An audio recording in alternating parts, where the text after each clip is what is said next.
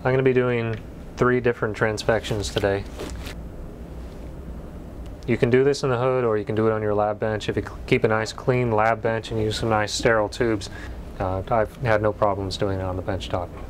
For someone beginning in cell culture, it might be best to do it in, you know, in a hooded facility. It just make sure everything is semi-sterile uh, because when you do the transfections, you don't want to have any antibiotic in your cell culture media at the same time that you're doing your transfections because there's a toxicity associated with that. The uh, siRNA comes dried in this tube from the company.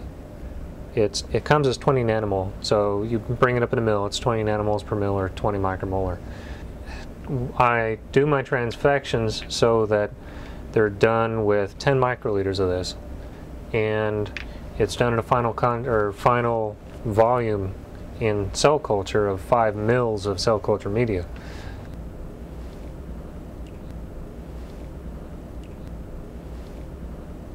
I like to add things to the side of the tube. Just makes it easier to dispense things into tubes if I find they're added actually to the side. You get like a droplet.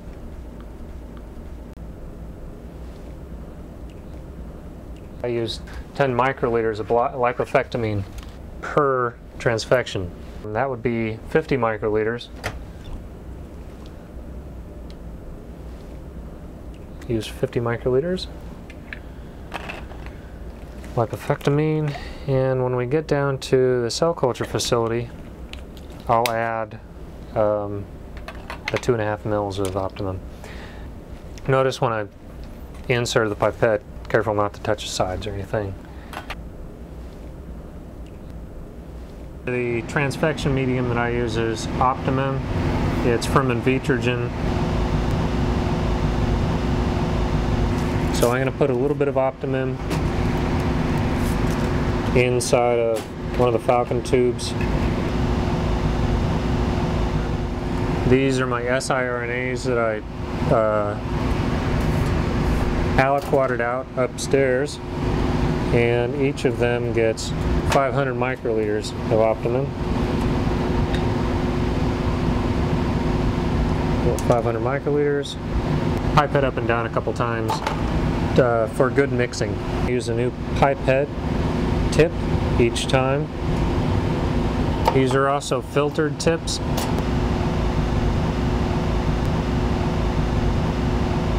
Now what I want to do is add two and a half mils to the lipofectamine and mix well by pipetting up and down. Try not to touch the sides.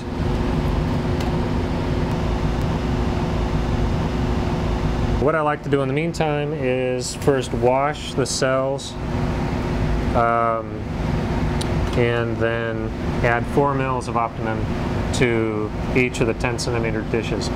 When I aspirate the cells, open them up kind of like a clam shell shape between the fingers, lean it away from me, and then just kind of touch the edge and so the media is gone.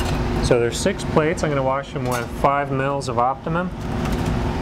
And um, that would be 30 mils total. So I add it gently to the side.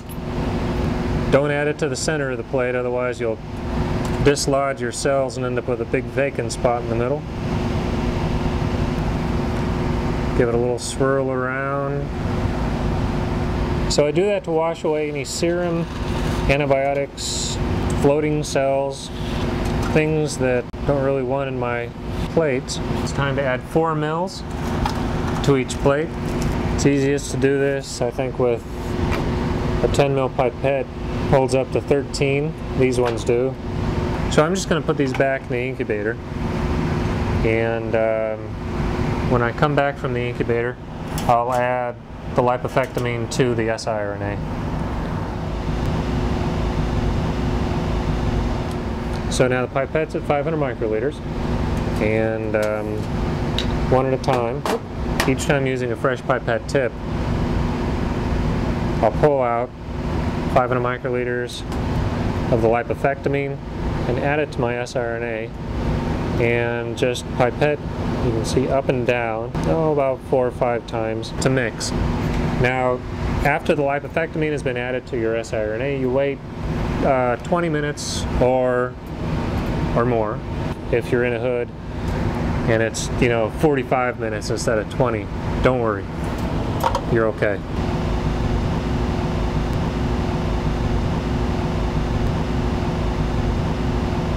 I set these up yesterday they uh, contain uh, colorectal cancer cell line at about 40 to 50 percent confluence right now tomorrow morning it's, it's early afternoon right now. Tomorrow morning they will be approximately 90% confluence, and that's just based on experience and the knowledge of the doubling time. So I aim for about 80 to 90% confluence the following morning, and I will uh, split them out uh, tomorrow.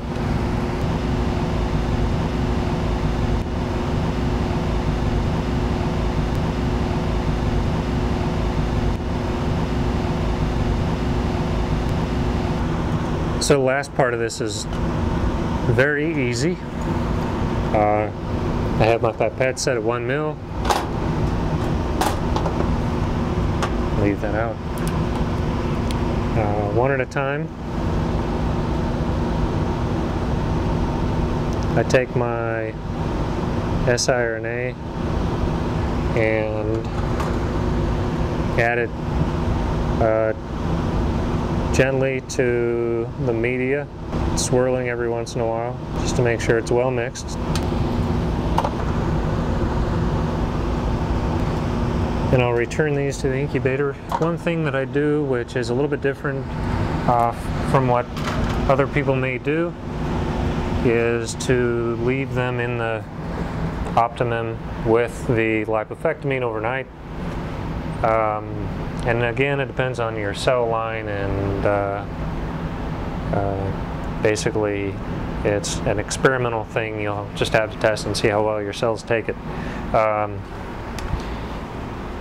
the other thing that I do, which is perhaps different, is I actually do two transfections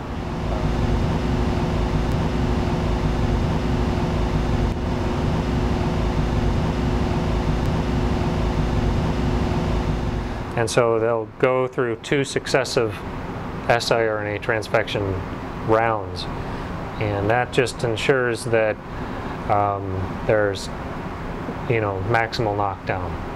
Um, and it, it does seem to enhance somewhat the, the suppression of whatever you're trying to silence.